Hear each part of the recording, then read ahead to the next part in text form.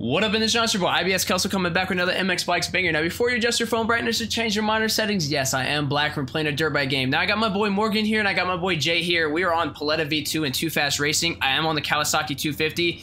And uh, today we're just gonna go over what I think is the best tires to run for a 250. Um, you guys know me, dude. I love this Kawasaki 250, and I've been trying to find everything I can do to perfect it. So I think today is the day that I tell you, like, I've been running 90 tire, and I just changed from a 110 uh, in the back to a 120, but it's medium 90, medium 120. Shout out to Morgan. Shout out to Morgan right now. Uh, what's up, baby? Uh, Jay, what's up, baby? What's good? What's good? Yo, shout out to these guys. Shout out to Morgan, dude. Uh, definitely for Wetto Racing's uh, setup kind of guy. He, he is our setup guy, and uh, yeah, he was able to tell me to put on these 90 and a 120 on the back, and it's just been so much grip. What a guy! What a guy! What a guy! I saved it. Oh man, Russian dude. Literally, Paletta V2 is literally Russian roulette with one bullet missing. Why would you do that, dude? Where's Where's the knowledge? right behind Haiden Deegan. Shout out to that guy. Go a little, little fatty for him. Go a little another fatty.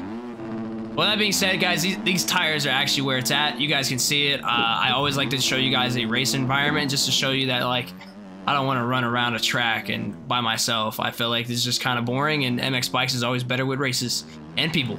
So thank you, Jay. Thank you, Morgan. Yes, sir. Yes, sir. Be peasy. But yeah, as you can see, I don't know if we have any too crazy fast people up in here, but I know Morgan and Jay might be on my my barkage here soon after they get out of that lap traffic. Oh, I'm trying. Fence. Now, what I can say about this, I feel like my starts, I should say at times, since there's so much traction, um, they are a little slower, but I mean, obviously it's MX bikes, you know, starts, starts are eh to me.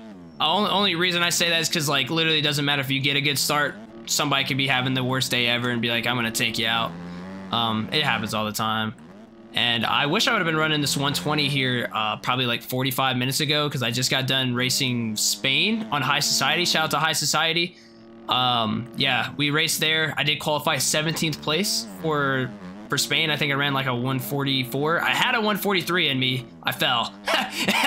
Of my life. So, yeah, I mean, not bad, but I wish I would have had the 120 on the back. Um, I did try to, the 80 there uh, on the front, and yeah, I just had too much front tucks. So 90 in the front, and a good, uh-oh, trouble. Whoopsie. Look at these guys barking. Yeah, and then uh, 120 on the back, medium, dude. These these extra grip. So, Jay, what what could you say? Morgan, what could you guys say about these tires so far? Super grippy.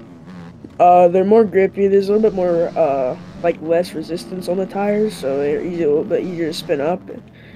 So, I mean, that kind of just helps it, like the bike react overall. Oh yeah. See, I, I never want to be like a biased, um, biased opinion guy. That's why I always have people around and definitely give me their their feedback. You guys think there's like any like huge cons to it, or you think it's just all pros? I haven't had a single con happen yet. If you're Fair gripping, enough. you're ripping. Vibe Johnson. Uh, kind of like what you said with the starts. Like the starts are a little bit iffy with it, but you gotta kind of lean forward a little bit more than you would normally. Okay. So a full lean over.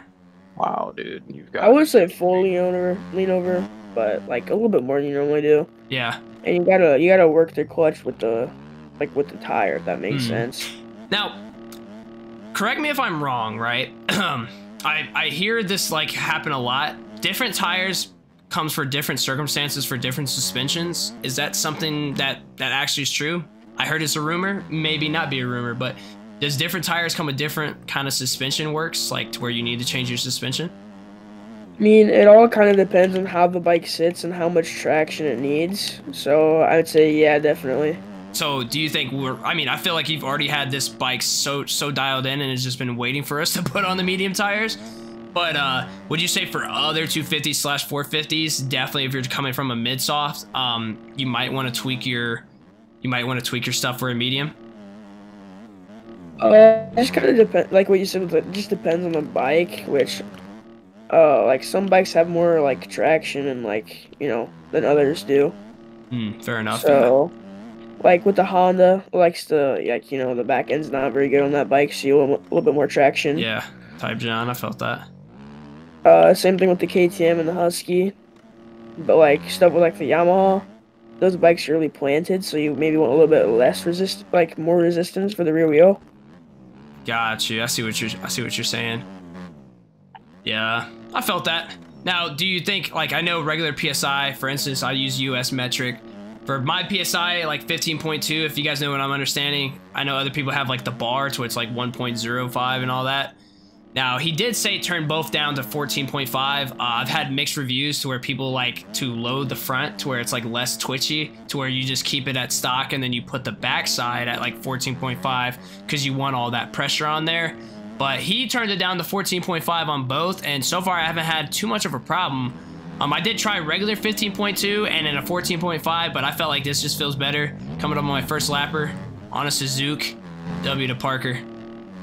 But yeah, I don't know. That means, wow, Parker. Peter Parker. That's how we're gonna get into things, huh? Okay. Homie literally like I, I thought he let me go, and then he literally landed on me. Ah, what a guy. Shout out to this guy Grills, man, barking with his Husqvarna 125. Deegan kept cleaning me out. Not the Deegs. What about you, Jay? You, kind of like for a 200 hour rider, do you recommend these tires? Oh yeah, I recommend them.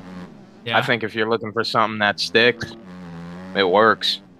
Ooh, easy. Now, are you more? Are, what, what, how, how, should I say this? Are you guys happy that like kind of Reaper and all of them kind of shared this information and didn't hide it from the rest of the group, from the team, from the community? I'm not saying they're bad people or anything like that. Like saying like you know they were gonna hide it. I'm just saying like is it is it a W in your guys' eyes for the community for them to share this?